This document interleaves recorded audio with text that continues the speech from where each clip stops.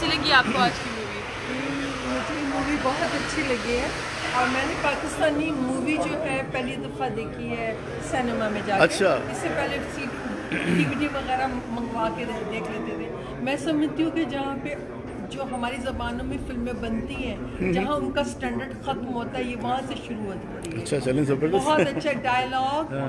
اور story acting اور جو light camera everything excellent technically بھی بہت اچھی فلم تھی۔ ٹیکنیکلی بھی ساؤنڈ بھی بہت اچھا تھا۔ اور جس طرح بہت سے سین ایسے تھے جس میں کچھ ہم نا ویلگیرٹی کس ویلگیرٹی دکھا سکتے تھے لیکن انہوں نے وہاں بھی اس کو ہمارے جو کلچر ہے اس کے ساتھ ہاں فیملی مطابق انہوں نے رکھا ہوتا ونڈرفل اوکے تھینک یو کیسی کیسی لگی آپ کو فلم ویلکم صاحب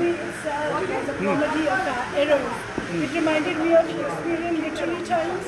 Shakespeare is like a complex comedies بناتے تھے Pakistan beat up to that standard winning that comedy direction was really good comedy of error ہے یعنی آپ کی movie was entertaining overall and it had that grip so everybody come over and watch wrong number 2 you only know what wrong number 2 is after watching the آپ نے watch کی movie ہے زبردست thank you so مچ مریم چلیں ہم لوگ اور بھی لوگوں کو دیکھتے ہیں اگر کوئی ہمارے ساتھ ہیں اور آپ کو فلم کیسی لگی مریم ٹو بی ویری جس ٹائم میں آئی تھی میں نے ایکسپیکٹ نہیں کیا تھا کہ رانگ نمبر ٹو مووی اتنی اچھی ہوگی بٹ پورے ہال میں جس طرح ہم لوگوں نے سب نے انجوائے کیا اور جو ہنسنے ہم سارا وقت ہنستے رہے ہاں بہت بہت زیادہ مزہ آیا اور بلکہ بلکہ آپ کو اگر آپ دیکھیں کہ آخر میں تو لوگ تالیاں بجا رہے تھے جب ختم ہوئی تھی تو نارملی ہم ہالی ووڈ کی فلمز میں اس طرح دیکھتے ہیں کہ آڈینس ریسپانس کرتی ہے اور یہاں پہ مسی ساگا میں اتنا زیادہ ہم نے پاکستانی مووی کو انجوائے کہ اس کے بہت اچھا لگا۔ بڑی اچھی فیلنگ آئیے ہم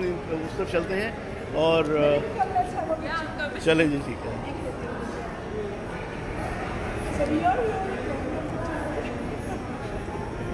صحیح ہے۔